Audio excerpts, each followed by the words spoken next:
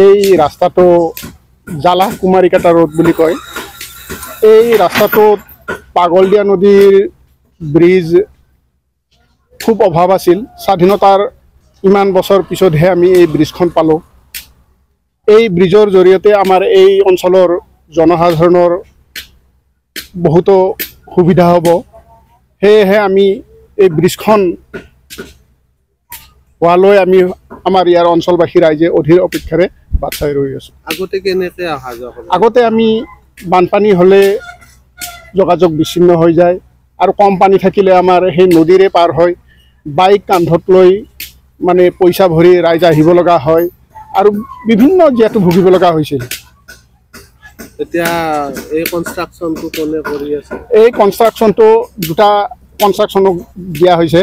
এটা অনুপম নিৰ্মাণ private limited আৰু এটা গৌতম কনষ্ট্ৰাকশ্যন দুয়োটাই লগ লাগি কৰি আছে? দুই হাজাৰ ছাব্বিছ চনলৈকে ছাব্বিছ চনৰ শেষলৈকে কাম শেষ হ'ব বুলি আমি তেখেতসকলৰ পৰা গম পাইছোঁ। এই দলংখন হৈ উঠাৰ পিছত বাক্সাৰ সদৰ মুছলপুৰ বা তামোলপুৰ বা ভূটান সংযোগী যিটো পথ এই পথটো সুচল হ'ব নিশ্চয়। অঁ নিশ্চয়। এই দলংখনে আমাৰ বহু বছৰৰ এটা সমস্যা সমাধান কৰিব। আমাৰ এই অঞ্চলত ধৰক ৰাইজৰ আজি ইমান দিনৰ সপোন আমি ধৰকচোন সৰুৰ পৰাই মোটামুটি চোৱা গৈছে দলংখন হ'ব বুলি আমি ভাবাও নাছিলোঁ জীৱনত।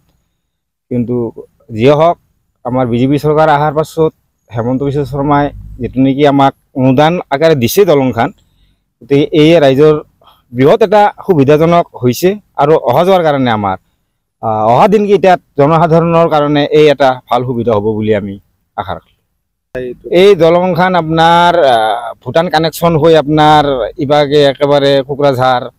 একেবাৰে মোটামুটি আপোনাৰ ধৰক পশ্চিমবংগ অব্দি আপোনাৰ যাব পৰা যাব। তাৰ ভিতৰেদি আপোনাৰ ভূটানৰ কানেকশ্যনখিনি ভাল হ'ব। ভূটানৰ লগত যোগাযোগখিনি অসমৰো ভাল হ'ব। এইখিনি আৰু ভাল আৰু। যাতায়াতটো। আপোনাৰ ভাল হ'ব। আপোনাৰ ইভাগে একেবাৰে ওদালগুৰিৰ পৰাই আপোনাৰ মোটামুটি কোকৰাঝাৰ। এই ৰাস্তাটোৱে আপোনাৰ বহুত। আমাৰ বি টি চি এলেকাৰ।